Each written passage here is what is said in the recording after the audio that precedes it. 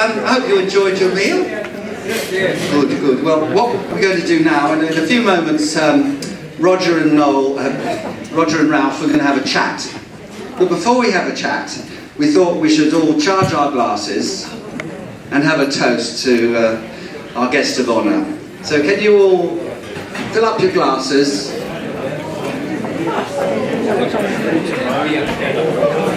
You stay with Have you all got your, your glasses charged? So let's uh, toast Ralph. To Ralph. Oh, he's a jolly good fellow. Oh, he's a jolly good fellow. Oh, he's a jolly good fellow. And so say all of us. And so say all of us. And so say all of us.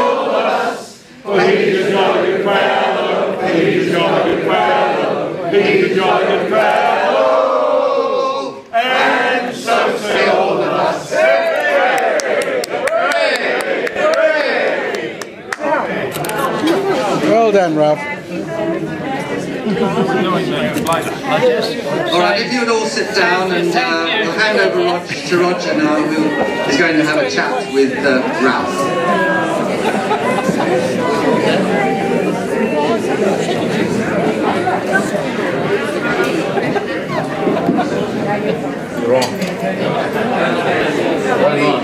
Well, from my perspective, this is indeed a great You have to pleasure. We have had a little bit of a dry run a few weeks ago, Ralph and I. I sat down with him for a couple of hours and we had a good old chat about uh, his life. We're just going to run through that a bit tonight and I hope that uh, you'll enjoy it. You've been seeing a lot of the uh, photographs up there and some of them might mean something when we uh, get through what we talk about. But I'll just start off with saying, uh, Ralph, how come you were born in London on the 24th of June 1918? Well, that's because Mum was there. And Dad turned up, did he? No, now what, Dad was in New Guinea with Mum and Phyllis, and uh, I suppose it would have been about uh, oh, about uh, 1915, somewhere around there, and a passing uh, a passing white man shouted across the water to him that Britain was in uh, in the war in uh, in Europe, uh, and uh, Dad immediately packed up his. Uh, his things and took his wife and daughter and sailed back to England, joined the British Army as a padre and served in France. And then he got compassionate leave, or is it passionate leave they get in there?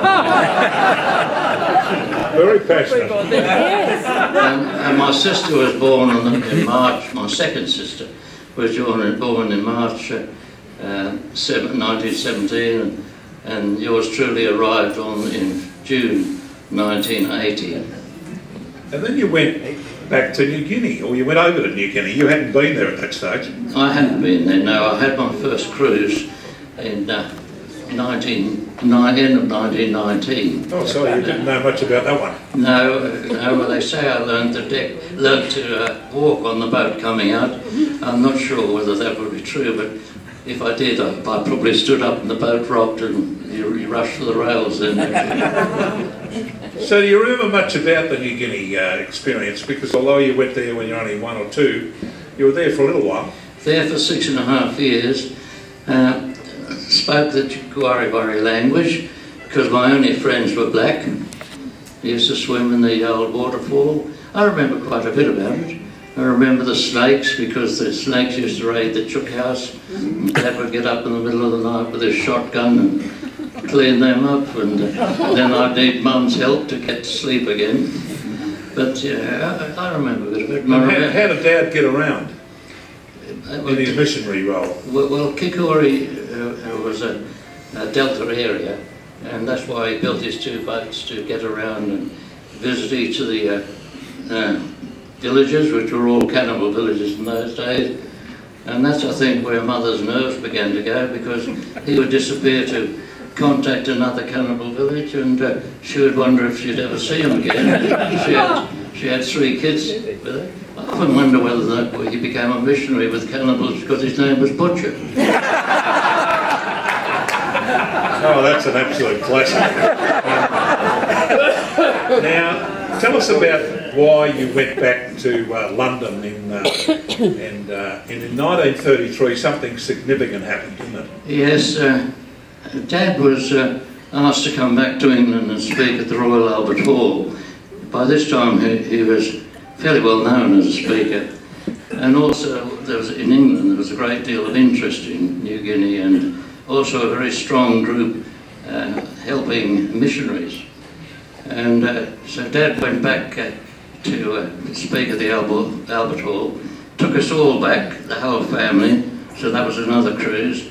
And then at the end of uh, the, the, the Albert Hall talk, he uh, called his children to him and said, I've made a mess of your education already, so I'm putting you in boarding school in England and going back to New Guinea on my own, which he did. And tell us about your family at that stage, your immediate family. Um, uh, I had a, a, a brother, my, Phyllis had died, she died of blackwater fever in New Guinea, uh, age seven. Um, there were no other white people there but mum and dad, so uh, there was nothing they could do for her. We all got malaria and suffered with that in, in, in that area. But uh, would it, oh, the, the number of the children. your family, yeah. Yes, well, well, there was uh, myself and Hilary and David. David was the youngest. He was uh, six and a half years younger than me. So there, there were four of us originally, but only three at that time. And then, of course, you got involved in the, in the war, and we Well- couldn't understand, as Australians, why you were with the bombs. What happened? Well, what, happened was that uh, I, I finished my education uh, and tertiary studies in London just as the war started, 1939, and uh, I went to Australia House and volunteered for service in the Australian Army, and I was told that uh, uh, if you want to join the Australian Army, you've got to go back to Australia. You can't join here. So you've got to get money and a boat and off you go. My brother found the same thing years later when he joined up. Uh, the German army by that time was getting fairly close to the Channel Coast, and the belief was that we would be in England would be invaded. And so I thought the best thing I could do was join the British Army. And you spent about seven years there. Six and a half years Six with and a half Army. years, yes. yeah. And where, where did that take you during the world, uh, then the First World War years? Well, the first year. Second, Second World War, sorry. Second, second World War. Yes, I did have five months in the First World War. You didn't graduate. Oh, you haven't missed the boat there. He's amazing, isn't he? He's, he's, he's just picks up so many things. It's amazing. Anyway, tell us a little bit about your, your service and uh, Yes, well- I had the first year, of course, the, the first thing you do is you go to a training department for a, a division for, um, for about six months. And then I was sent up to uh, the Military College of Science because I'd uh, worked as a major subject applied optics. And uh, uh, they, they promoted me with three stripes and a crown as an armoured artificer staff sergeant and told me I would keep it if I passed the course, but if I failed it, uh, they would strip it off me. So, so it's, it's one way of giving a great encouragement when you go. you, I was scared to death of failure.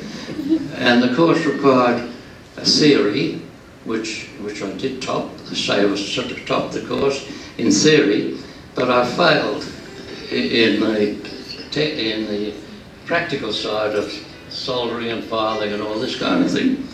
And so I was terrified I'd lose my stripes. But he- said an amazing thing to me, you failed, but I think you're officer material. what, what rank did you get to eventually? Well, it, it saved my skin because I kept my stripes. But you want to know where I went with the... the Yeah, where you went to in uh, Well, well, then and then I, I, I, I was sent to uh, Egypt, and I was uh, uh, sent to the uh, Kasr el Nil barracks on the Nile to do an officer's training course, and all the people there there was people who had been in action in Egypt and Libya, and uh, I got my I got my first pit, and uh, went up into Libya to join a new unit. And uh, you want to go on with what? Yeah, yeah, absolutely. And, and, and then uh, the retreat to Al Alamein, and then posted to a unit that was uh, getting ready for the invasion of Sicily, which, by the way, was the largest amphibious la- landing in the, the world had known at that time. There, there were two armies, the American Army and the, uh, the 7th, 7th Army and the Australian 8th Army, which had just cleaned the Germans out of uh, Africa. And uh, well, there were over 2,000 ships, including about six of Britain's battleships. So it was a very big, very big deal. And I was promoted to captain as, as, at Syracuse, uh, which is the port in Sicily where we were going to make our supply centre. And uh, then, then from there we went up the east coast of Sicily and across Messina Straits. The Americans didn't follow us into Egypt there, they landed up the coast later. Uh, and uh, spent about 14, 14 uh, months in uh, Italy. Italy surrendered very quickly, and it was a, a bit of a joke amongst us because he then declared war on Germany. we, we weren't sure that was helpful Well, or we not. typical Italian. And, and any, is there something or some things very special, you know, that, that happened during your service in that uh, time? How long have I got? I knew you'd say that because when we chatted about it, it went on for a fair time. Well, indeed. Yes, well, I, I think probably one of the unusual things which I remember, uh, ha- having said I was in Italy, we then were moved down to Bar- uh, Bar- Barapari uh, on the Aegean coast, and we then uh, uh, uh, liberated Greece. So we sailed around to Piraeus and went ashore there and liberated Greece. And uh, sat back to wait for victory in Europe Day. And to our amazement, we started finding dead bodies in the streets.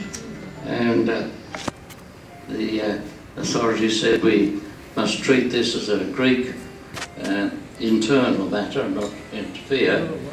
But we've, we've soon found that uh, the number of bodies was ex- expanding, and it, it was, it was ELAS, uh, a Greek communist partisan group that had fought with us, was now intent on taking Greece into the Russian sphere. And so we had a rather unpleasant war against uh, civilian-clad people and uh, that kind of thing. I, I notice that you're getting a little agitated, so I'm No, talking no. too long. No, they are very, very interesting little pieces, and particularly the Greeks. Yes, it, it's uh, uh, it's a, a very different thing fighting civilian-clad guerrillas to an army. You, you don't know who's friend, who's foe, and uh, so uh, you get sticks of dynamite and you get. Uh, um, I'm not holding this right, I think. I'm sorry about that. There you're right. After- There you're right. Yes, uh, so, so it's a, it's, it's something that uh, you do remember because it's not a normal war. Just moving on a little bit, when you came back to, well, I say back to Australia, but you came to Australia uh, in 1947, just uh, shortly after the war, and you had 23 years with the big Australian, BHP. Uh, how did that come about, and uh, what was your roles there? Well, I, I, I wanted to get into human resources, and to my amazement, no com- company seemed to have uh, a human resources department at that time. So BHP offered me a job in, in training. They were very strong in training, and uh, I started at the bottom as master of apprentices with 300 apprentices at the steelworks, and uh, we went from there and uh, slowly developing into uh, the personnel and human resources. Must have been a great experience, 23 years at a big company like that. Yeah, I finished up executive officer of personnel and training, and by that time we'd introduced our own residential management course, and we were sending some of our senior people to MIT and Harvard and places overseas for management courses and so on. So I got close to a human resources department at the end of my. Now then you went to another giant firm in CRA Rio Tinto Uh, for yes. 12 years. Did you get pinched there or did they yeah, approach yeah, you? Or? yeah, uh, yes, I, I was chased by what people call headhunters. And uh, this fellow rang me every month. And I would say, and what is the company? And he refused to tell me the company. Oh, But he, he said, that's confidential. They, they want you, and, uh, and they've said we're not to tell you who I am. So after three months, he suggested I write down what I'm getting at BHP, you know, superannuation and income and any benefits. And uh, within a week, uh, I got a- phone call to go to uh, the, one of the hotels in Melbourne, and uh, they offered me the job of personal manager at uh, Rio Tinto, CRA Rio Tinto. I finished my 12 years there, and retirement in the in the industry, mining industry, was pretty young. I was 62. I thought I was I thought I was too young, so I, I did uh, three years of consulting, and the firm that wanted, the help was uh, Liquid Air. and how come you went there? Did they approach you too again? Yeah, time? well, well the uh, management consultants uh, suggested me, and uh, so I went there and I spent about three years with them. I had an interesting experience there, but it's nothing to do with what you were going to ask me, Robert. No, no, it's- we're always interested in the interesting experience. Well, a French director came out to Liquid Air because the French name, I think, is Air Liquide. And uh, I got to know him. I found, uh, found uh, he was uh, a very nice fellow, and then I found he was very keen on golf. So I took him to Yarra Yarra to play 18 holes. We had lunch at Yarra Yarra. His name was Mitterrand, the brother of the French president. Amazing. And then he gave me a card, visit me anytime you're in Paris, and I got back. Now tell me, uh, just moving on a little bit from there, you had, uh, in your semi-retirement retirement, you had some wonderful tours with your late wife Chris. Can you tell us a little bit about some of those things that happened? Well, Chris and I both travelled before we married. Uh, Chris had four years in America, and she had visited New Orleans and Cape Cod and a few places like that. But we, we did set out to travel a lot, and we did a lot in the Pacific. I've got a lovely picture of Chris and I in Tahiti, we did the four islands of Hawaii and then near Fiji and all those places. We saw a lot of America. Um, BHP gave me a, a trip through America for about a couple of months because they wanted me to find out a, a little bit human resources work. But uh, so we saw uh, quite a bit of America. Uh, we were planning to see the Rockies, but Chris developed uh, uh, breast cancer and we had to cancel the, uh, eight days before we were scheduled to go, and I never did get back to the Rockies. We saw a lot of England. Being an English girl, we'd go over there and stay with relatives, and that meant we could go over there for a long while, and the, the relatives would drive across the channel, to, and we'd just decide where we'd go. We never booked hotels, we just drove, and if we liked a place, we stopped. We got stopped, stopped in one pass going over to see well, one of the one of the mountains. I can't think of it at the moment. So we turned around, and uh, my driver just threat my friend and the relative just drove through the tunnel to to uh, Italy, and we stayed at Lake Como. You could do those kind of Beautiful things. Lake Como. Yes, it is, yeah. and, and the distances are so small for an Australian that it's easy. Just down the road. That's right. And that, that's the way we played Europe. We, we went to a lot of places. And, And, and wonderful memories for you and Chris. wonderful memories, yes. Now tell me, we haven't talked about the family, but we've got to give them a bit of a mention, haven't we? My family. Yes. Well, they're a very difficult lot, but. Uh, uh, well, one of them has just said absolutely, so she agrees. Uh, I've got two girls, Sue and, uh, Sue and Jen, and uh, I, we've got four grandchildren, or I've got four grandchildren. Both of them have a, a son and a daughter, and uh, I have one great granddaughter who's three and a half. When I blew out my candle at uh, Victoria Golf Club on Sunday, she was quite upset. Her job is to blow out candles. wonderful to have them here tonight with their husbands. And, uh, Yes, I, thank you very much. and, and I'd like to just thank you for coming, and we we very much appreciate that. Um, just to perhaps finish up, you, you've had a wonderful time at Legacy. What, um, what has uh, been, A, your highlights there, but C, B, why, why do you spend so much time looking after these legatees? And uh, you've done a wonderful job, I might add, and recognised with your OAM. Well, there's, there's a, the, I felt fairly strongly about uh, the widows and the kids. And there's a little story about legacy where, where uh, two uh, diggers uh, are, are uh, mourning their mate in the First World War who'd just been killed. And one says to the other, what's the very best thing we can do for Bert? And the other one replies, look after his missus and his kids.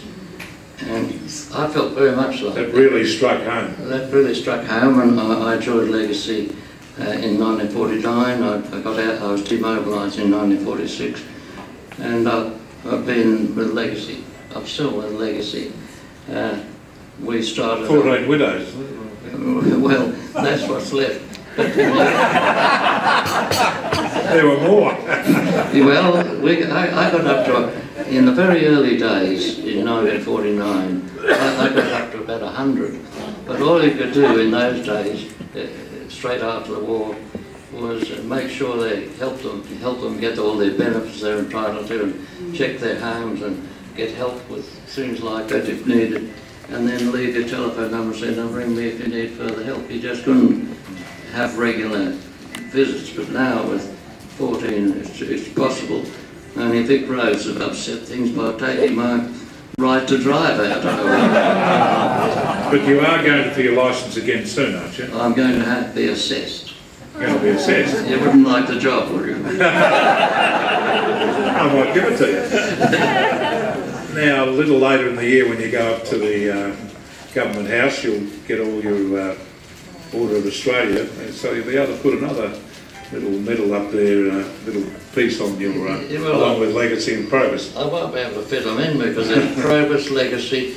I had the RSL. I RSL. took, I took that out because I wanted the Probus one. Yeah. Now I'm going to have another one. Yeah, well, it's got to be on top. The, the Order of Australia is something very special, and I'm sure, you know, when you uh, realise how important it is and what you've done for the community, uh, it's absolutely fantastic, Ralph. Well- and I'm going to ask you now. We've finished having a chat, I think, aren't we? Unless you want to have the Oh, last word. I'm just going to You want to have the last word, yeah? I'll have the last one. De- Apart, apart from Legacy, in 1949, uh, a Brigadier John Main called to see me, and uh, he told me that the government was very worried about uh, Indonesia, now over 200 million people, and we less than 20, and also worried uh, at the weakness of the regular army in Australia due to demobilisation. And then he said, uh, what we're going to do is we're going to build up the CMF so that we've got a pool of partly trained soldiers we can call on. And then he turned to me and he said, will you please form and command 111 Infantry Workshop? So I did that for six years uh, until I was sent down to Melbourne. One more, one more question. One more question. I nearly forgot it. Some chat. When, when you were with the specialist, what did the specialist tell you? About my eyes. No, you, you, Oh. when you were with the specialist, Vascular. when you Oh, were the that- specialist, The, back, the vascular surgeon, I had an aneurysm at the bottom of the aorta, so it was, it, it was a, a bit of a, a, a worry. And, and uh, he, he said the real worry wasn't, wasn't the operation, it was the anaesthetic. But uh, this, the specialist, when he came round and saw me, he said, I'm going to give you a pacemaker because you can't go and get a heartbeat of 35 again, it's not, not good for you. So he, uh, he then said, I don't know, Ralph, you, you, you look pretty young to me, but boy, when I saw your vascular system, that's over 100. well, we might finish on that very happy note because he said, when am I coming back again? Well, you asked him and you said, well, when? Oh, he sent me, he sent me a, a, a, a review Yeah. and uh, and uh, that is uh, the 4th of April 2019, a year away, and then the cardiologist did exactly the same thing. So, uh, fellas and ladies, I'm here till April. Now, that finishes the chat. We're now going over with the family to uh, cut the cake, and that's when we'll have the opportunity, girls, of singing Happy Birthday.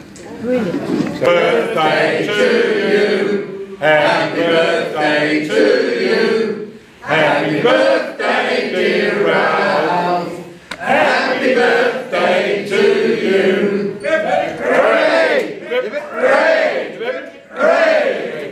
Candles out and then cut the cake.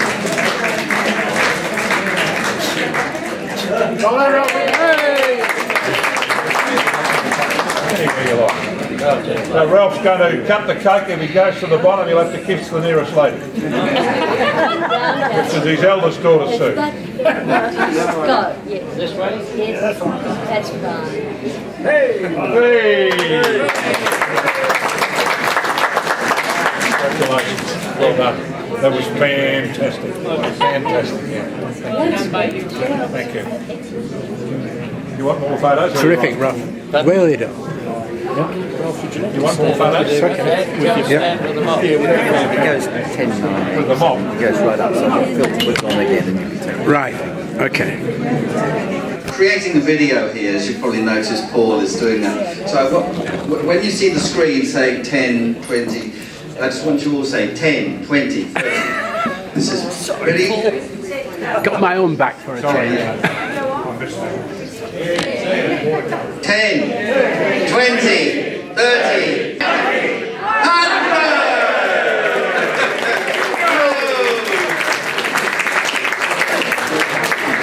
Thank you. Now, well done. You missed it, didn't you? I have to say, I thought that was absolutely inspirational. And uh, sorry,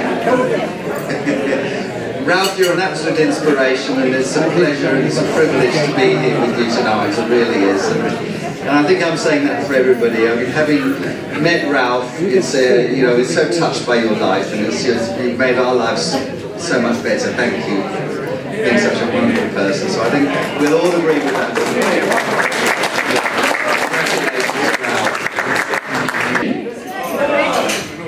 Congratulations,